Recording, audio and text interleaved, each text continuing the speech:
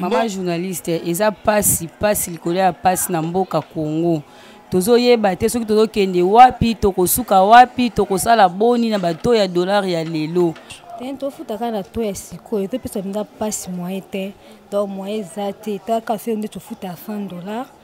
ndeti ngaa nafuta ya 100 dollar ni bayela ye biso facture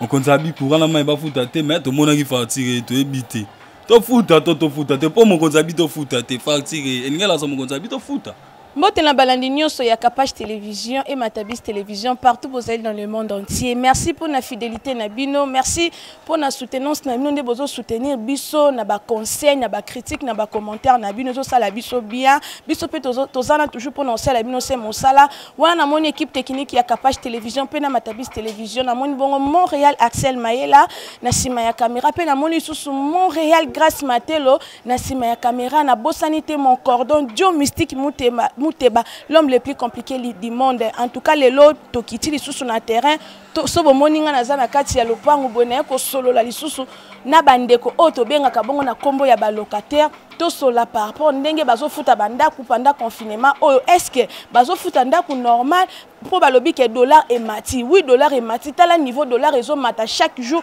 tokolala tokolamuka boye dollar emati tolali tolamuki dollar emati dollar ekomi lisusu na taux ya 19 000 francs tandis ke na kala dollar ezalaka na, na 90 000 bandako ezomata bandako ezomata eske bazofuta kaka na to ya kala to bakomi kofuta bandako na to ya sika yango awa tozosola na bandeko oyo baza balocataire na kati ya lopango oyo quelque part tosola na bango toyeba pourkui makambo yango ezosalema boye toke tozwa deja mama pourkui makambo ya dollar ezocontinue toujours komata na bandako pourkui makambo ya dollar ezocontinue toujours kopesa pasi na bacongolais pasi na bandeko oyo bazofutela bandako ezosala kitoko te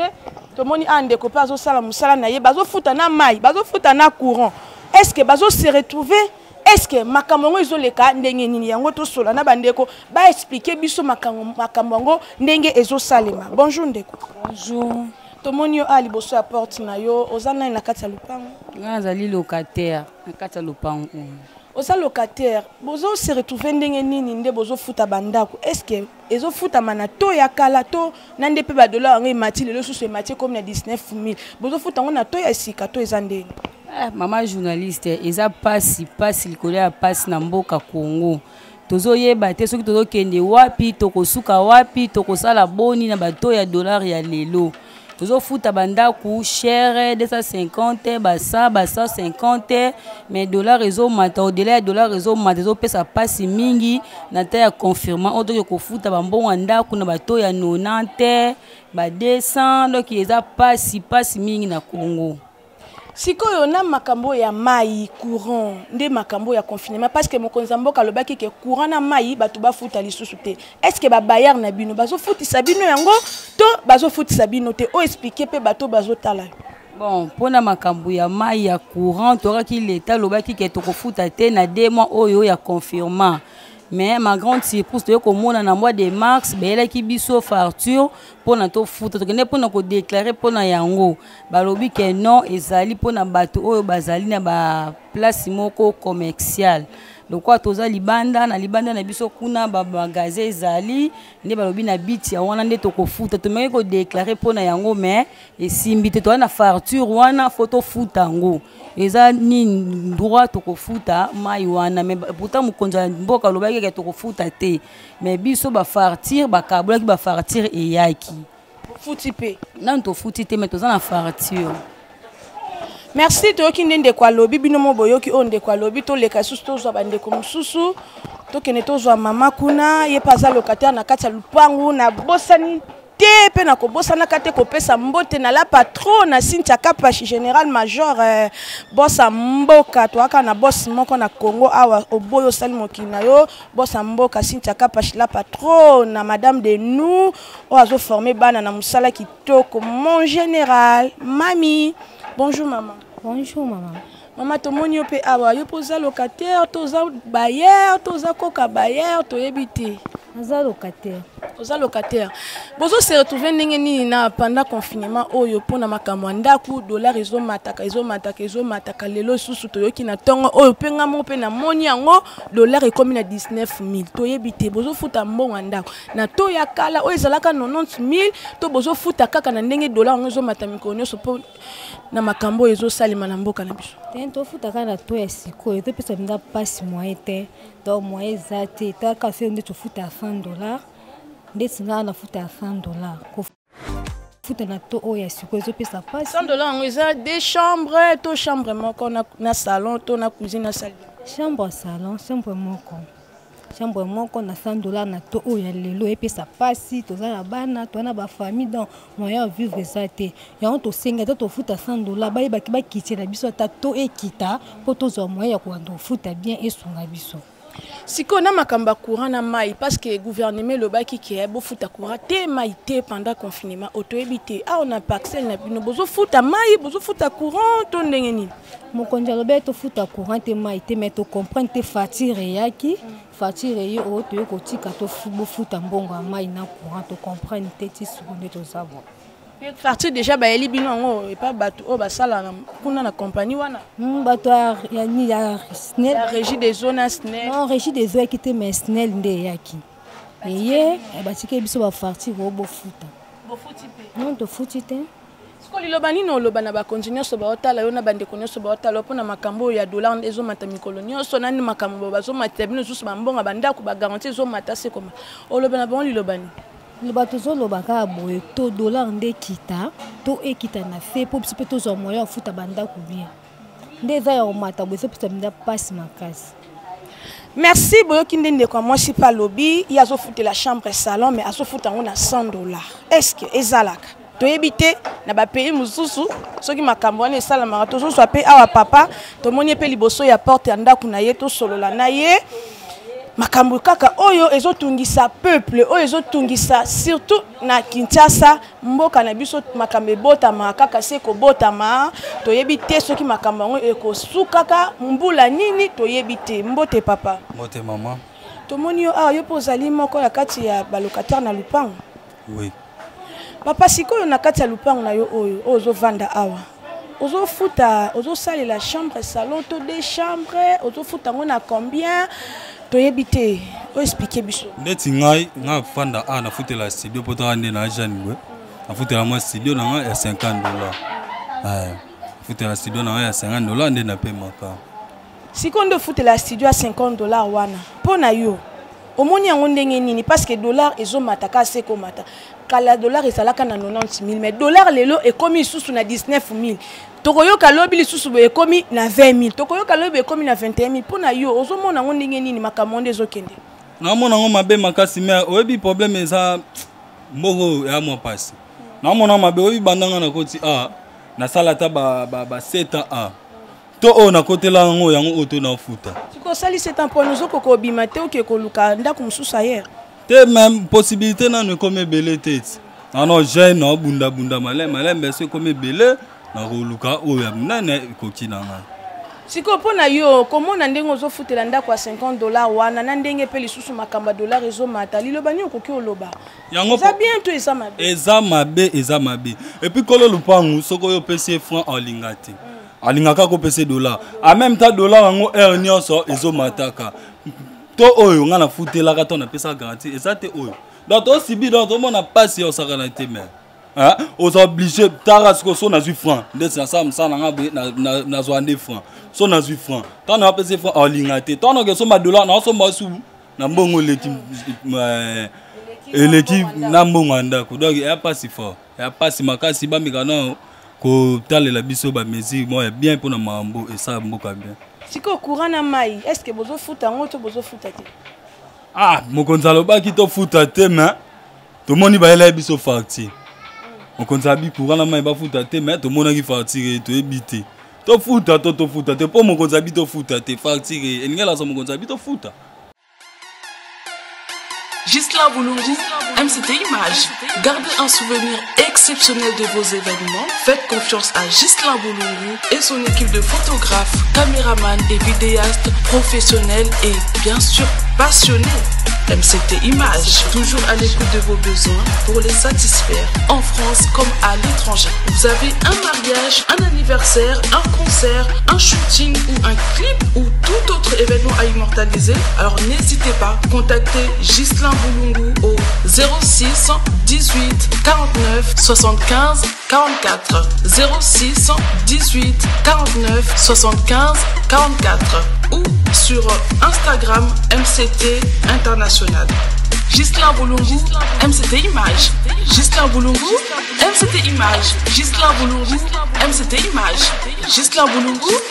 mct image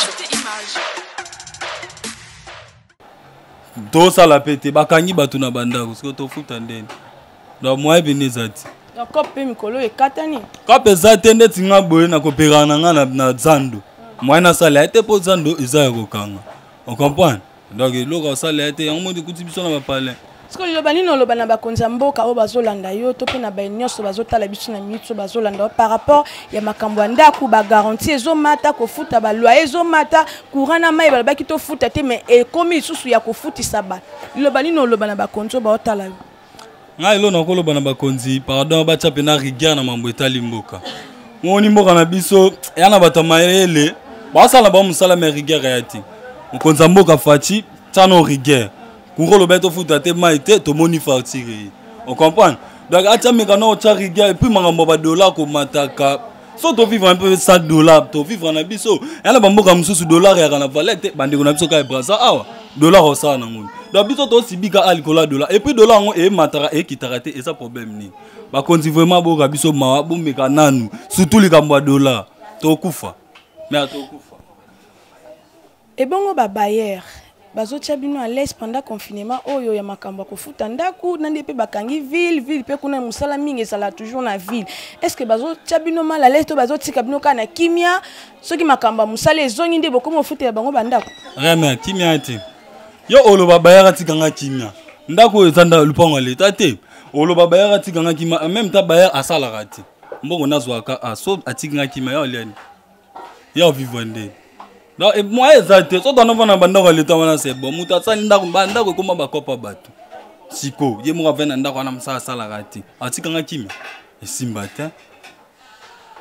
omoni esimba ata moke te donc baotya biso kaka mosukusuku mpo il faut futa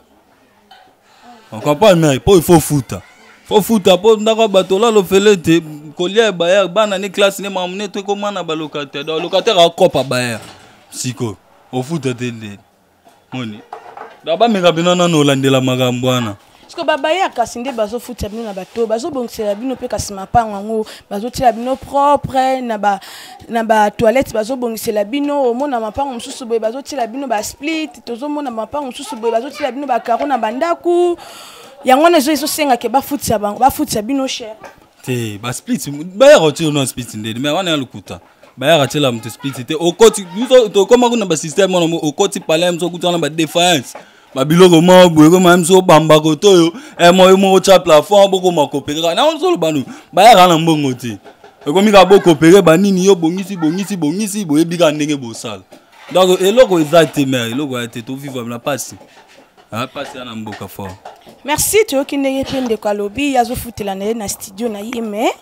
mbongo bazosenga kaka na dollar estce ezaka obligatoire na kini awa to utilisaka dollar tandis que na ba pays mususu basalelaka kaka nini ba mbongo na bango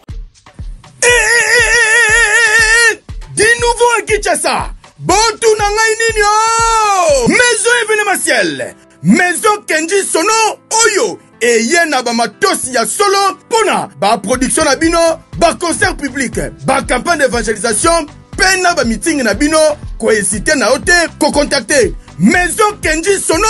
oyo etie matosi oyo na disposition na bino. Botala bino moko table mixer, mesure ya 2 mètre 40 ebongo kote ya lumière e mama munwe ata otelemi na 500 mètre okomona moto aza na podium na kinshasa baza kaka bango moko mutu baza na balimere oyo botuna ngai eza wapi o na vende ya liberation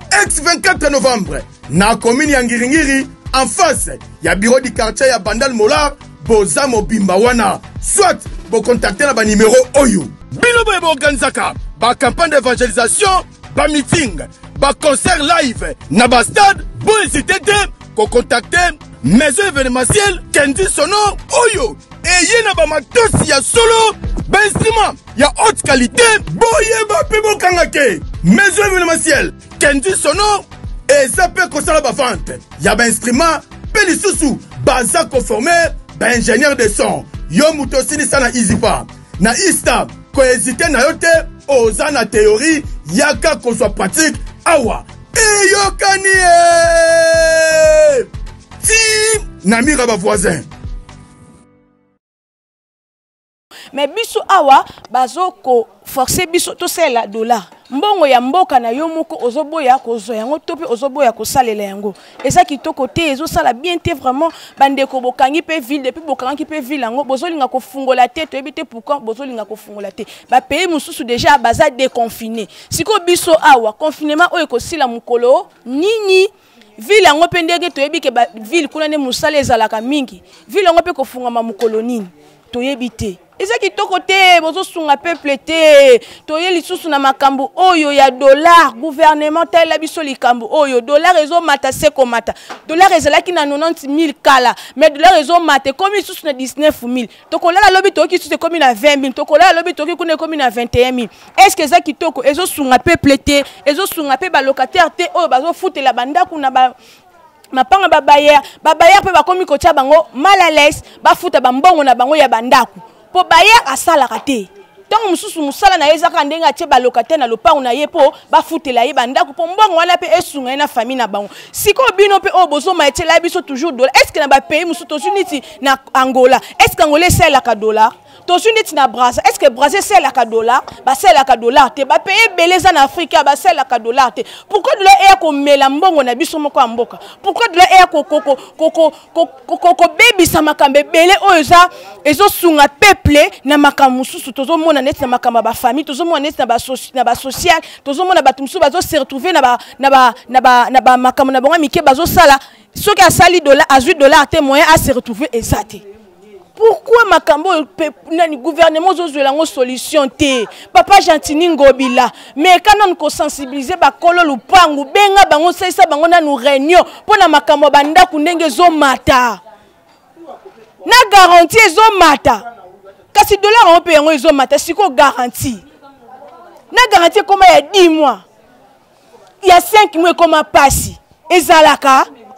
tokende ata tokatisa kaka na braza ya pays voisin na biso tokatisa kaka na braza a ah, braza ezofutela na ndako ya 10 000 franc na braza ezali oke mpe okoti na ndako omoni mpe kitoko ndako ya 20 000 franc ya 20 000 cfa na braza ezali oke mpo sertouve omoni ndako mpe kitoko mais awa azwa kaka 2 chambre salon cuisine salle de bain bafuti yango combien 800 dollars 1000 dollars mpe ezaka na dollars 800 dollars 1000 dollars 700 dollars oyoka te baofutisa ndako na franc congolais parce que franc congolais nde eza mbongo ya mboka na biso tozolinga kosala mbongo ya mboka na biso te mpo tozolinga kopesa yango valeur te mpo na nini